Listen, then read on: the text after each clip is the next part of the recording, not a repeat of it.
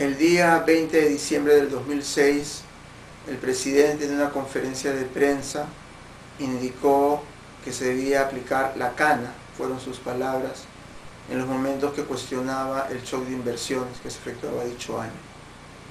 El año siguiente, el 19 de octubre del 2007, en una entrevista en radioprogramas del Perú, señaló que era un fugitivo de la justicia, como respuesta a una pregunta relativa al censo de población que se efectuó ese año.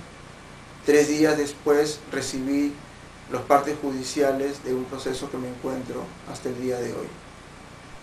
El año pasado, el 26 de mayo, se entregaron las cifras de la pobreza y frente a mis cuestionamientos, la presidencia del Consejo de Ministros inició una acción sumaria de control.